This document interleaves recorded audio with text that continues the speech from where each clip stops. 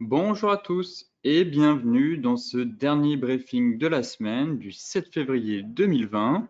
Avant de commencer, je vous laisse prendre connaissance de l'avertissement légal sur les risques.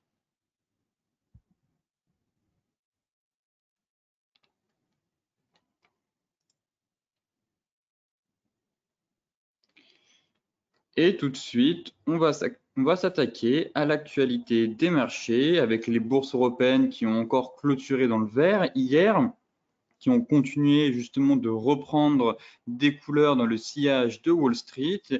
Euh, et euh, la plupart, on va dire que la Chine a gonflé surtout le moral des investisseurs en annonçant la réduction de droits de douane sur plusieurs certains sur plusieurs centaines de produits importés des États-Unis, reléguant ainsi pour un temps au second plan les inquiétudes des marchés entourant l'épidémie de coronavirus.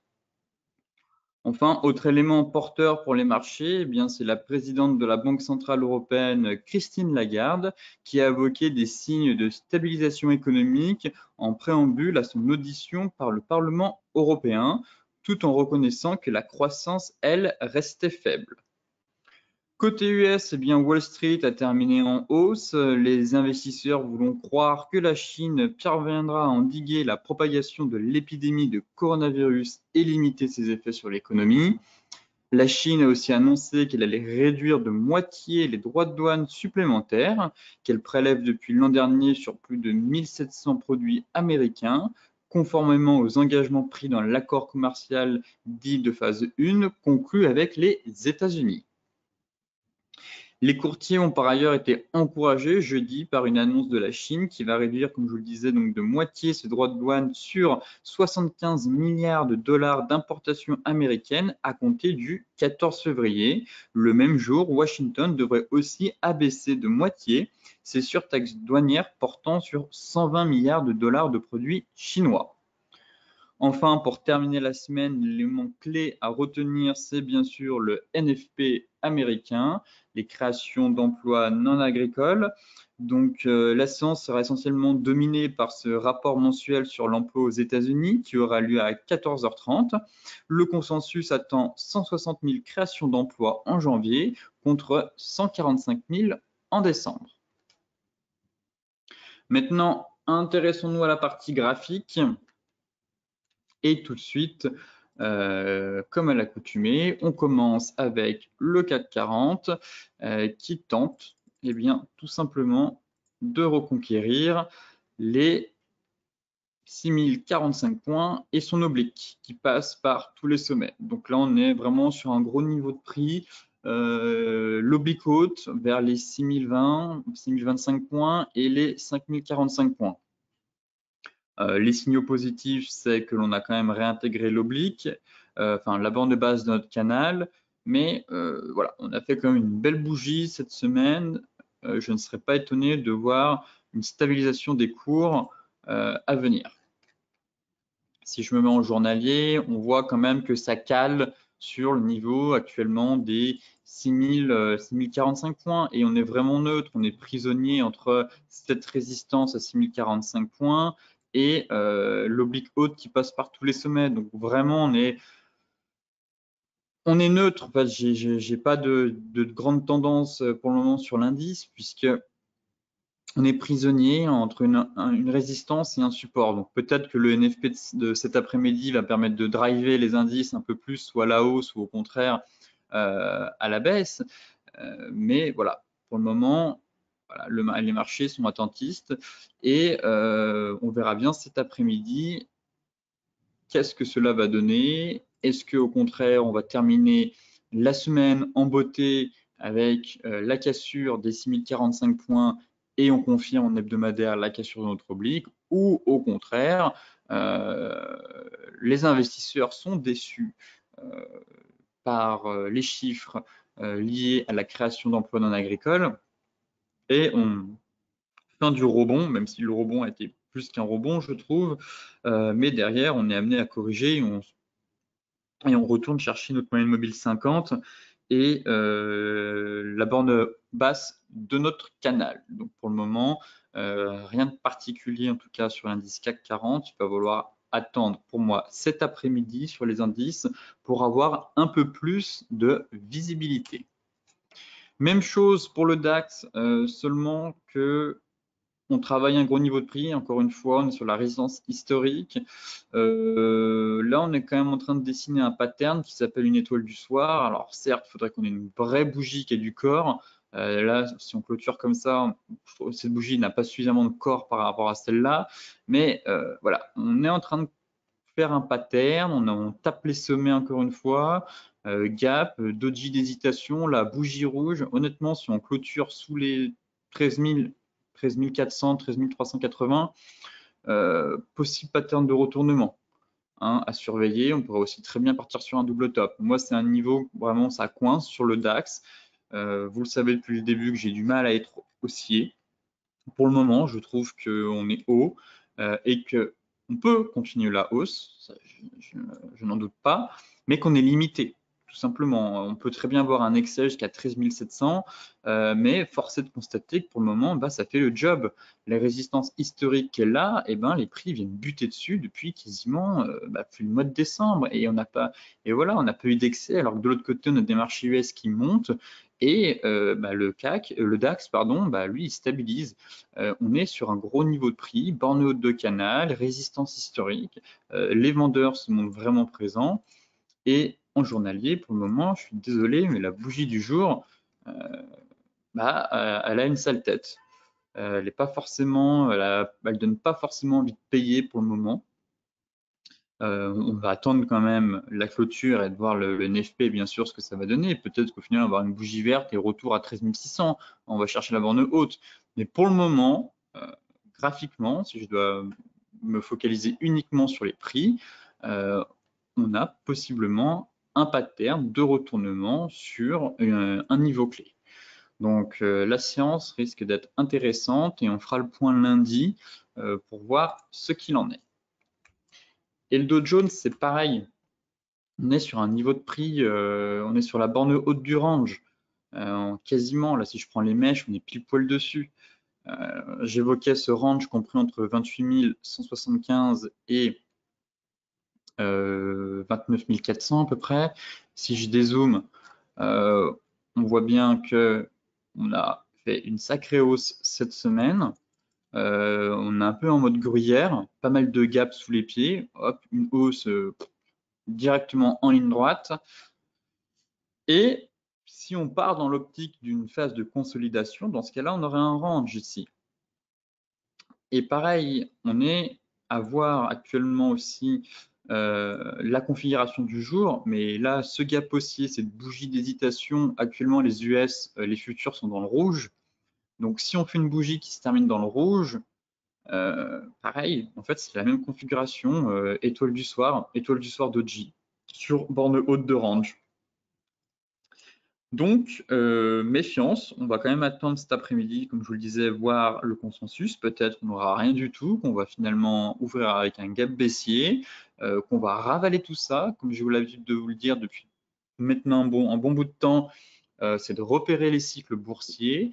On a souvent en Europe le matin et en début d'après-midi un cycle baissier. Les cycles, ça dure plusieurs heures sur les marchés. En général, il y a 3 à 4 cycles euh, durant l'ouverture d'un indice. Et on ouvre avec des cycles, plusieurs cycles baissiers, et derrière, à l'ouverture des US, eh bien, c'est la remontada, et euh, on a un changement de psychologie, et on passe dans un cycle haussier. Donc, pour le moment, c'est uniquement des hypothèses d'un point de vue des prix, mais on pourrait très bien avoir, au final, si les investisseurs sont déçus, déception du marché, euh, une bougie de retournement si on clôture avec une vraie bougie rouge. En tout cas, on a un pattern en formation et les futurs pour le moment sont dans le rouge. Donc pour le moment, ça va avec un gap baissier. Euh, on verra bien maintenant euh, les résultats. Mais voilà les éléments à prendre en compte pour savoir si oui ou non, au contraire, on casse, on poursuit la, on poursuit la hausse et direction 30 000 points, ou euh, non, finalement, on est peut-être monté un peu vite, un peu haut, on va redescendre sur terre et euh, pattern de retournement et on consolide dans un range. Voilà le, scénario à prévoir, en tout cas, à mettre en place euh, pour la semaine prochaine. Passons au Forex maintenant avec l'euro face au yen japonais, configuration technique intéressante puisqu'on a un range dans un range, euh, à savoir ce magnifique range ici que les prix ont su tenir pour le moment. Euh, et euh, tant qu'on n'enfonce pas les 120, qui est un prix rond et un seuil psychologique, voilà, consolidation. Même si on a notre sortie de biseau là qui est confirmée, pour moi on a eu un pullback.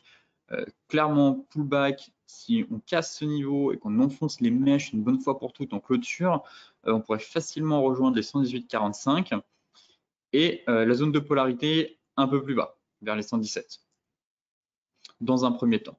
Mais comme je vous disais, il y a un range dans un range, c'est que si je me mets en données 4 heures, et eh ben voilà, magnifique range encore en données 4 heures, ici.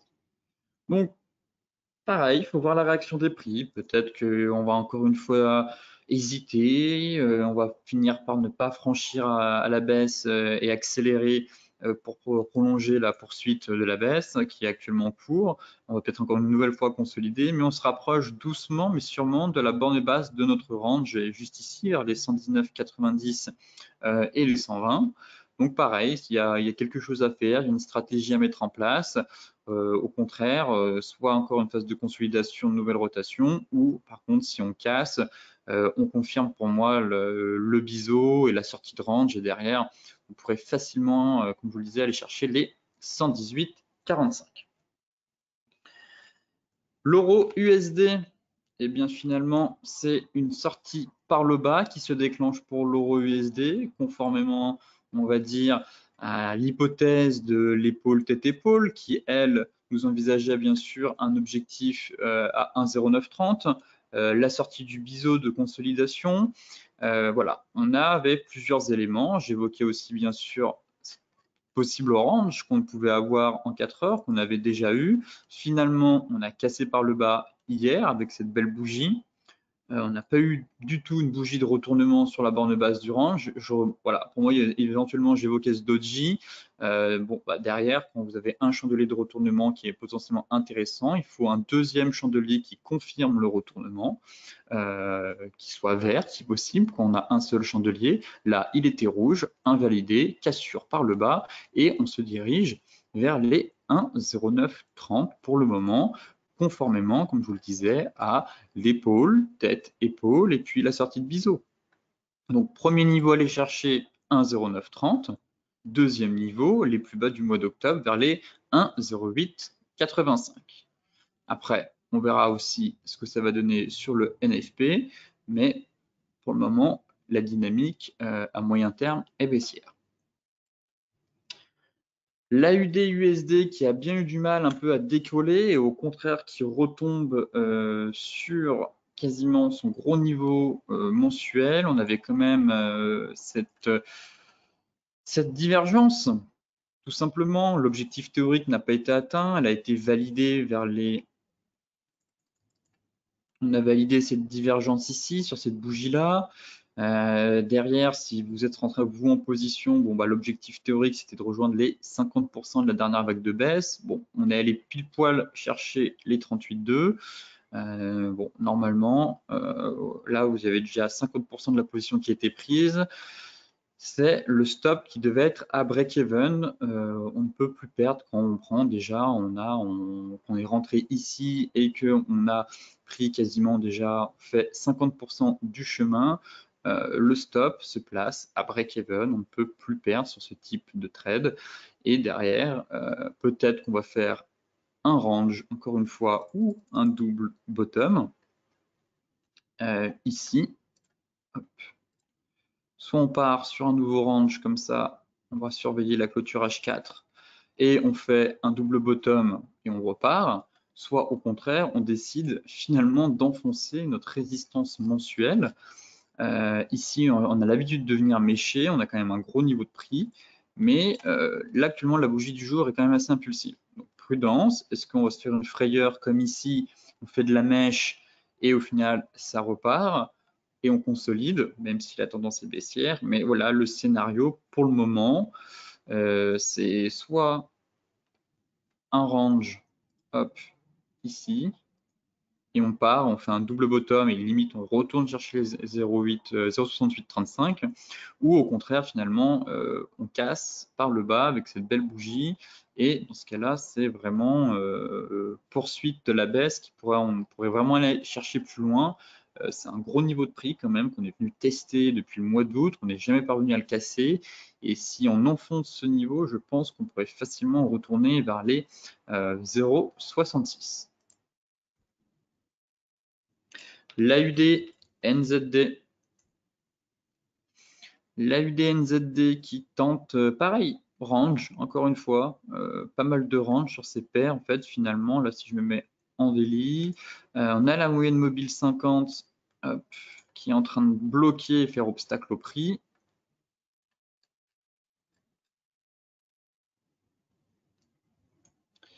Euh, on avait cette petite divergence là qui s'est mise en place, donc euh, voir si on donne une nouvelle impulsion pour valider le double bottom ou euh, est-ce qu'on échoue tout simplement sur la borne haute du range. Là actuellement c'est le cas. comme vous pouvez le voir ici, eh bien, si je prends uniquement les clôtures, eh bien, on est venu chercher la borne haute et on est venu échouer. Pour le moment, on n'a pas de double bottom validé et on est plus euh, dans une phase de trading range. On, avait, euh, on a tenté de casser la moyenne mobile 50, ça a échoué. Euh, dans ce cas-là, on pourrait vraiment partir dans une phase de trading range sur la paire, sur l'AUD NZD. Enfin, pour terminer, l'USD CHF.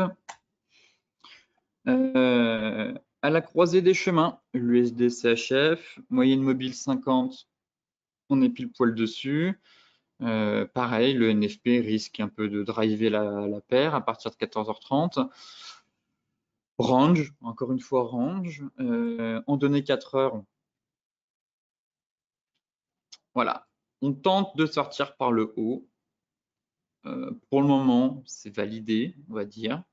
Euh, après, prendre position là tout de suite euh, avant le NFP, c'est quand même euh, trading casino, clairement, c'est pas du trading. on est dans du trading casino, donc on mieux vaut attendre les chiffres et attendre que le marché digère la news avant de se positionner, sinon ce n'est pas du trading. et en plus, comme je vous le disais, on a quand même la moyenne mobile 50, voilà, qui fait obstacle. Euh, pour le moment, mais sinon, si on la casse, pour moi, on pourrait vraiment valider un double bottom et on pourrait reprendre de la hauteur pour rejoindre la moyenne, euh, la, oui, mobile 200. Et au contraire, si la paire décide de plonger et qu'il nous fait un bel avalement ici, eh ben, ce sera pour moi un signal qu'on a éventuellement un trading range. Donc, à mon avis, cet après-midi, il y a moyen de euh, que plusieurs plans, opportunités se mettent en place avec les chiffres et après, il faudra voir euh, la réaction du marché. Enfin, pour terminer ce briefing des marchés, on va quand même regarder les matières premières avec le gold. Bon, il ne se passe pas grand-chose dans le gold, euh, toujours la stratégie que je vous disais de consolidation. Euh, compris entre quasiment euh, les 1600, 1595 et 1545. Euh, on est venu quasiment chercher la borne basse. Là, on reprend un peu de hauteur. Ce qui est beau et propre, c'est que pour le moment, la bonne nouvelle, c'est qu'on est en train de reconquérir les 1560 pour moi, qui est un niveau crucial à défendre. Alors certes, on est toujours dans un avalement, mais pour le moment, ça reste haussier quand même. Euh, alors oui, il y, a un petit avalement, on va peut-être sûrement partir sur un avalement, il est quand même... Euh, compare à celui qu'on avait en début de semaine où on était situé ici et sous les 1560, là c'était quand même un peu plus délicat, je trouvais, euh, d'avoir un énorme avalement qui avale plusieurs bougies et qui repasse sous notre fameux seuil des 1560, hein, qui correspond quand même à la zone de polarité, je rappelle, juste ici. Euh, qui a un gros niveau de prix, gros niveau de, support et de résistance euh, qu'il faut absolument tenir. La moyenne mobile 7 tient toujours. Et euh, voilà, on sauve le support. Donc pour moi, tant que ça tient, ça tient. Et en journalier, ça consolide et on est au-dessus des 1560. Donc pour le moment, pas grand-chose. Reste à savoir maintenant si on va partir dans un range ou en fait si c'est tout simplement eh un triangle. Voilà, comme ça. Ce serait bien d'avoir une réaction du marché euh, sur ces niveaux et puis comme ça on est fixé et puis on verra si au final on consolide encore dans un triangle ou un range. Et puis la sortie par le haut, on ira chercher la deuxième zone de polarité à 1625 dans un premier temps. Le pétrole,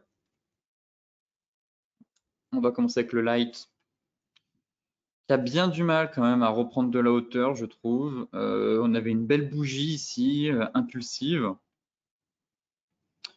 euh, avec une réintégration du range hier, c'était quand même plus propre techniquement, et là, on a du mal. On a du mal. le rebond semble pas s'éloigner, mais c'est quand même dommage de voir que le marché déclenche une vraie bougie impulsive et derrière, ça ne prend pas. Euh, même si là, on a un vrai doji d'hésitation, on a eu un vrai doji d'hésitation ici.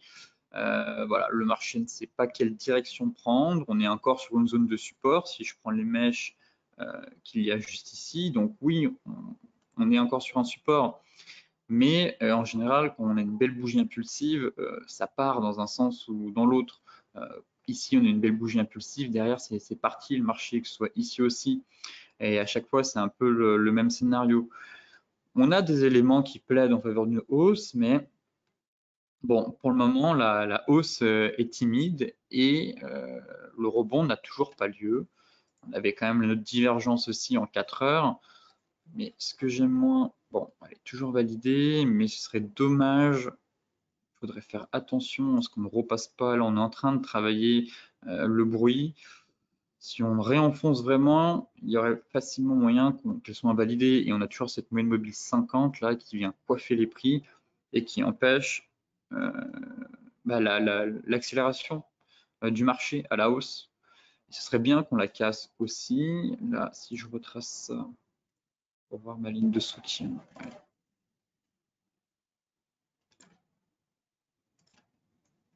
Alors, qu'est-ce que ça donne? Effectivement, pour le moment, on travaille, on fait un pullback sur le bruit, euh, mais c'est clair que si on enfonce le support et que derrière, pourquoi pas, on peut encore rebondir, mais par contre, si on vient casser, euh, si l'indicateur casse euh, la droite de soutien de la divergence haussière sur RSI, clairement, elle est invalidée. J'en parlerai plus en détail quand on fera la formation sur les divergences mais euh, voilà, ça fait partie des conditions qui vous invalident une divergence. Et quand vous tracez votre droite qui est juste ici, si derrière le marché, euh, là, elle n'est pas très pentue en plus, et quand le marché, l'indicateur recasse votre droite, euh, voilà, vous sortez de position, scénario invalidé, même si votre stop n'est pas atteint. voilà, ça fait partie du trading sur les divergences et invalidation du plan. Donc, au lieu de rester en mode espoir et de se prendre une perte euh, qui est inévitable quasiment, eh ben, on sort du marché, tant pis, eh ben, au lieu de perdre, euh, je sais pas, moi, 1% de votre capital, eh ben, si vous misez 1% de votre capital, vous perdez 0,5. Et c'est toujours ça de sauver. Pour terminer, le Brent, mais même configuration, voilà, seulement que le Brent est moins propre techniquement, je trouve. Euh, vous voyez, là, on est quand même repassé, on faisait notre pullback hier, là, on est quand même vraiment repassé en dessous. Bon, à voir, hein, euh, rien n'est fait encore, tant qu'on n'a pas, on n'est pas repassé sous les 52,90, qu'on n'a pas franchi les plus bas. Mais euh, voilà, le pétrole a quand même du mal à rebondir. On n'arrive même pas à franchir notre euh, moyenne mobile 7, 20, pardon. bon, ça manque, de, ça manque de carburant. Voilà, le pétrole manque de carburant pour partir à la hausse pour le moment, même si on avait des signaux. Euh, intéressant. On a toujours quand même notre oblique de soutien euh, qui passe par les plus bas. Euh, pour moi, tant que les 53, on va dire, tant qu'on ne repasse pas sous les plus bas, il y a toujours l'espoir d'un rebond technique. Mais pour le moment, le marché est plutôt au ralenti et manque de peps. Donc on fera aussi le point lundi pour savoir finalement si ce scénario est toujours valide ou pas. Sur ce, je vous souhaite à toutes et à tous une excellente journée, de très bons trades, un très bon NFP si vous allez le suivre cet après-midi. Et on se retrouve lundi prochain, du moins la semaine prochaine, pour faire un point, euh, un nouveau point sur les marchés. Bien sûr, n'oubliez pas de vous inscrire à, aux stratégies Forex, euh, Forex bourse euh, la semaine prochaine, mardi à 14h. Sinon, pour les autres, la formation sur les divergences le 19 février aussi à 14h. Sur ce, très bonne journée et passez un excellent week-end.